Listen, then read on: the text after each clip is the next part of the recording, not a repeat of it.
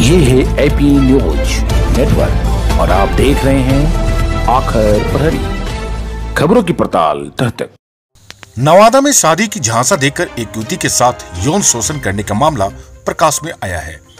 जब युवती शादी के लिए अड़ी तो युवक मुकर गया।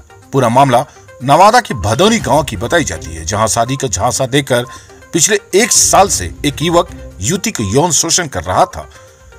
जब बात शादी की आई तो युवक शादी में शादी से मुकर गया, जिससे परेशान युवती नवादा समंडालय पहुंचकर नवादा एसपी डीएस सावल राम से न्याय की गुहार लगाई है।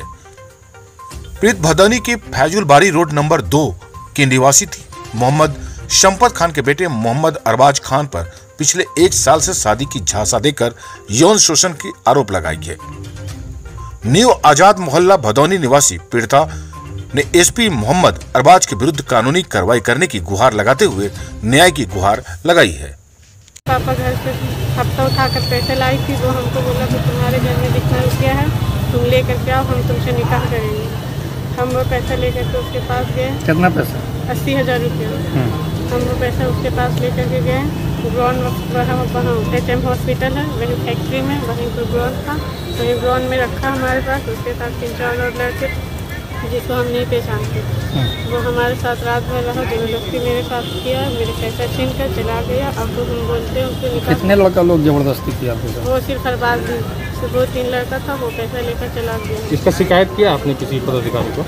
हाँ हम थाना भी गए थे। हाँ हाँ। थाना में हम ये रिपोर्ट भी लिखे हैं।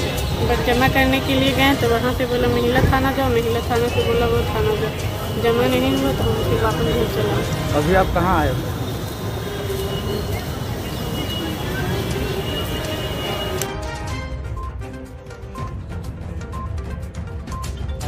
जी हम थाना आए हुए हैं एस से मिलने के लिए। हाँ।